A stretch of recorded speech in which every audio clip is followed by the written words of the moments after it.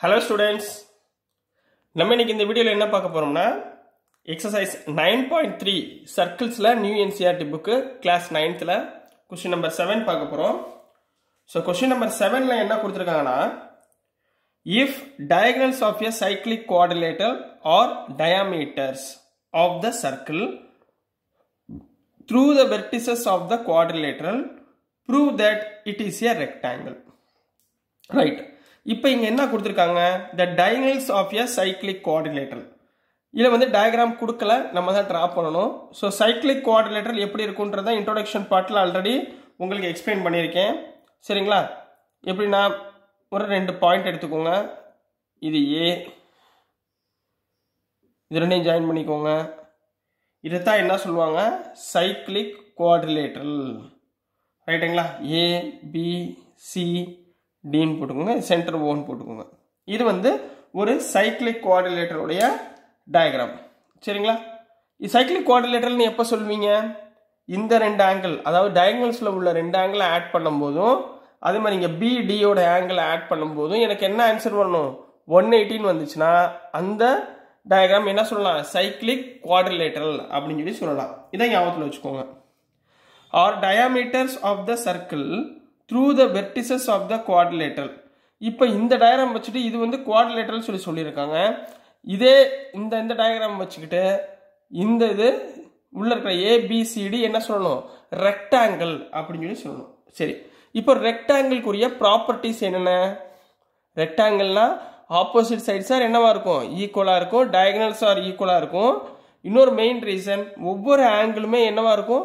Ninety டிகிரியாக இருக்கும். என்னவாக இருக்கும்?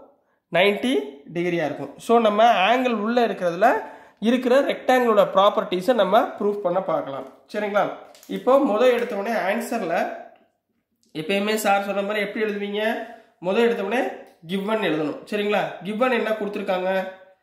Given A B C D இதனால என்ன சொல்லியிருக்காங்க? Is a cyclic quadrilateral is a cyclic quadrilateral அப்படின்னு கொடுத்துருக்காங்க.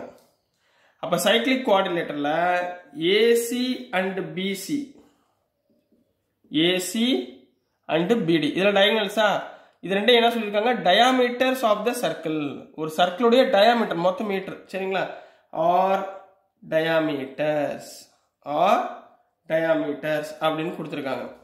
இப்போ ரெண்டாவது பாயிண்ட் டு ப்ரூவ் என்ன ப்ரூஃப் பண்ண போகிறோம் ஏபிசிடின்ற இந்த டயக்ராம் இஸ் எ ரெக்டாங்கிள் அப்படின்னு நம்ம ப்ரூஃப் பண்ண போகிறோம் இஸ் எ ரெக்டாங்கிள் அப்போ ரெக்டாங்கிள் ப்ரூஃப் பண்ணுறதுக்கு என்ன பண்ணுவோம்? All the sides having ninety டிகிரின்னு சொல்லி சொல்ல போகிறோம் அப்போ ப்ரூஃப் வாங்க. என்ன பண்ணலாம் பாருங்க. இப்போ ஏ இப்போ ஆப்போசிட் சைட்ஸ் ஆர் ஈக்குவலா அப்போ இதில் உள்ள ரெண்டு ட்ரையாங்கிள் எது வேணாலும் எடுத்துக்கலாம்.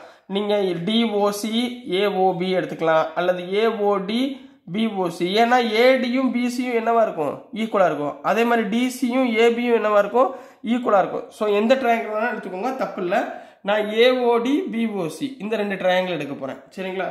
So in triangle AOD and triangle BOC இப்போ இந்த ரெண்டு ட்ரையாங்கிள் நான் எடுத்திருக்கேன். சரிங்களா? இதில் பார்த்தீங்கன்னா ஏஓ சிஓ இது ரெண்டு என்னவா இருக்கும்? ஈக்குவலாக இருக்கும். எப்படி? இது வந்து டயாமீட்டர் சொல்லிட்டாங்க. டயாமீட்டர்னா இது ஒரு லென்த்து ஓன்றது சென்டர் அப்போ சென்டராக கட் பண்ணும்போது இந்த ஏஓன்ற வேல்யூவும் ஓசின்ற வேல்யூ என்னவாக இருக்கும்? ஈக்குவலாக இருக்கும். அதே மாதிரி இந்த பக்கம் பாருங்கள் பிஓன்ற வேல்யூவும் பிடின்ற வேல்யூ என்னவாக இருக்கும்? ஈக்குவலாக இருக்கும். ரைட்டுங்களா ஸோ அந்த கான்செப்ட் தான் எழுத போகிறேன் here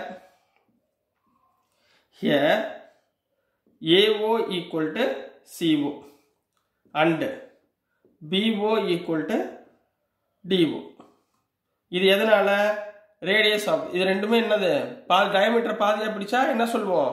ரேடியஸ் அப்படின்னு சொல்லி சொல்லிடலாம். சரி.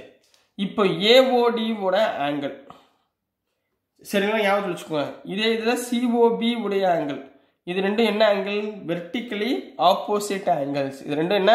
ஒரு கிராஸ் பண்ணும்போது இது ரெண்டும் என்னவா இருக்கும்? Vertically opposite angles therefore angle AOD equal to angle COB எதனால் என்ன ரீசன் சொன்னேன்? வெர்டிக்கலி வெர்டிக்கலி ஆப்போசிட் ஆங்கிள்ஸ் அப்படின்னு சொல்லி சொன்னா சரி. இப்போ இந்த ரெண்டு சைடு ஈக்குவல் இந்த ரெண்டு side AO CO BO DO இது ரெண்டும் ஈக்குவல் இந்த பக்கம் பாருங்க ஏஓடி ஈக்குவல் டு சிஓபி சரிங்களா? ஆங்கிள் ரெண்டுமே ஈக்குவலாக இருக்குது வெர்டிக்கலி ஆப்போசிட் ஆங்கிள்ஸ் அப்படின்னா இந்த ட்ரையாங்கிள் ஏஓடி என்ன சொல்லிடலாம்? Is congruent to triangle COB அப்படின்னு சொல்லிடலாமா? சரி கான்குருவன்ட்னா பை ரீசன் என்ன? By side angle side by side angle side பிரகாரம் அது ரெண்டும் என்ன சொல்லிடலாம்? ஈக்குவல் அப்படின்னு சொல்லி சொல்லி கன்வெர்ட் பண்ணிடலாம். இப்போ ஈக்குவல்னு சொல்லியாச்சுப்பா. ஈக்குவல்னு சொல்லியிருந்தா இந்த ஆங்கிள் ஈக்குவல்னா இந்த ஆங்கிள் என்னவா இருக்கும்? அதாவது ஓஏடி ஓசிபி இந்த ஆங்கிள் இந்த ஆங்கிள் ஈக்குவல் இந்த சைடும் ஈக்குவல்னா இதோட ஆங்கிளும் என்னவா இருக்கும்? ஈக்குவலாக இருக்கும். Therefore angle OAD OAD OCB is equal to angle OCB எதனால்? By CPCT congruent part of congruent triangle இது எப்படி ஆங்கிள்னா alternate interior angle alternate interior angle பிரகாரமும் இது ரெண்டும் ஈக்குவல் சொல்லலாம். தேர் ஃபோர் இப்போ பார்த்தீங்கன்னா AD is parallel to BC therefore AD is parallel to BC so ABCD is a முதல் என்ன சொல்லியாச்சு? பேரலோகிராம் முதல் என்ன சொல்லணும்? பேரலோகிராம் இப்போ அடுத்து நம்ம ப்ரூஃப் என்ன பண்ண போகிறோம் இது பேரலோகிராம்னு நம்ம கண்டுபிடிச்சாச்சு. இந்த பேரலோகிராமு நம்ம என்ன சொல்லணும்? ரெக்டாங்கிள்னு சொல்லி சொல்லணும். அப்போ இந்த இது வந்து பேரலோகிராம்னு சொல்லியாச்சு. அப்போ ரெக்டாங்கிள் சொல்லணும்னா என்ன சொல்லணும்? ஏயோட ஆங்கிள் பியோட ஆங்கிள் சியோட ஆங்கிள் டியோட ஆங்கிள் நாலு ஆங்கிளும் என்ன இருக்கணும்? நைன்டி டிகிரியாக இருக்கா? அப்படின்றத சொல்லுங்க. அப்படின்னு சொல்லி சொல்லிட்டோம்னா நம்ம ஆன்சர் என்ன சொல்லிடலாம்? ஏபிசிடி இஸ் ஏ ரெக்டாங்கிள் அப்படின்னு சொல்லி நம்ம முடிச்சுக்கலாம். சரிங்களா? இப்போ பாருங்க. சின்ஸ் இதே இடத்துல angle ABC equal to angle ஏடிசியா ஏன்? Opposite angle of parallelogram angle ABC பியோட டியோட ஆங்கிள் பியோட ஆங்கிள் இது ரெண்டும் என்னவா இருக்கும்? ஈக்குவலா இருக்கும். எதனால ஈக்குவலா இருக்கும்? ரீசன் என்ன? Opposite angle of parallelogram opposite angle of parallelogram are equal அதனால நான் இது ரெண்டையும் ஈக்குவல்னு எடுத்துக்கிட்டேன். ரைட்டுங்களா இப்போ சைக்ளிக் கோஆர்டினேட்டர்லாம் என்ன சொன்னேன்? ஒரு டயங்கல் எலிமெண்ட் இதோட ஆங்கிளும் இதோட ஆங்கிளையும் ஆட் பண்ணும்போது எனக்கு எவ்வளோ கிடைக்கணும்? ஒன் எயிட்டி டிகிரி கிடைக்கணும்னு சொன்னா அதே மாதிரி இது ரெண்டையும் ஆட் பண்ணும்போது ஒன் எயிட்டி டிகிரி அதாவது therefore ABCD is a cyclic குவாட்ரிலேட்டர்னு given. Cyclic குவாட்ரிலேட்டர்னு கொடுத்துருக்காங்க. சரிங்களா? அப்போ கோஆர்டினேட்டர்னு கொடுத்துருந்தா angle ABC plus angle ADC அதாவது இந்த ரெண்டு angle equal to angle ABC plus இந்த ஆங்கிள் ஏபிசி ஏடிசினா எங்க இருக்கு? ஏடிசி இதுக்கு பதிலாக என்ன போட்டுக்கலாம்? ஏபிசின்னு போட்டுக்கலாமா? ஏன்னா ரெண்டு ஆங்கிளும் same so plus angle ABC இந்த ரெண்டு ஆங்கிளுக்கு பதிலாக ஏடிசிக்கு பதிலாக ஏபிசி போட்டிருக்கேன். எவ்வளோ இருக்கும்? ஒன் எயிட்டி டிகிரி இது எத்தனை ஏபிசி ஆச்சு? Two angle of ABC equal to one eighty degree which implies angle ABC equal to one eighty degree divide by two equal to என்ன ஆயிரும்? நைன்டி டிகிரி அப்போ இந்த ஆங்கிள் ஏபிசி உடைய மதிப்பு இங்கே என்ன ஆகிப்போச்சு நைன்டி டிகிரின்னு சொல்லியாச்சு. இப்போ அதே இடத்துல என்ன பண்ண போகிறோம் டி உடைய வேல்யூ நைன்டி டிகிரியா அப்படின்னு பார்க்க போகிறோம் தேர் ஃபோர் ஏபிசிக்கு பதிலாக நான் என்ன சொல்லிட்டேன்? ஏடிசின்னு சொல்லியிருக்கேனா? அதனால இங்கே சேஞ்ச் பண்ணோம். ஏடிசிக்கு பதிலாக இங்கே என்ன பண்ணோம்? ஏபிசின்னு போட்டோமா? எதனால? Since ABC equal to ADC அப்போது இங்கே ஏபிசி நைன்டி டிகிரி வந்தால் therefore angle ABC equal to angle ADC equal to என்ன வந்துடும் நைன்டி டிகிரின்னு வந்துருமா? அப்போ இந்த ஆப்போசிட் ஆங்கிள் நைன்டி டிகிரினா இதுவும் என்னவா இருக்கும்? நைன்டி டிகிரியாக இருக்கும்.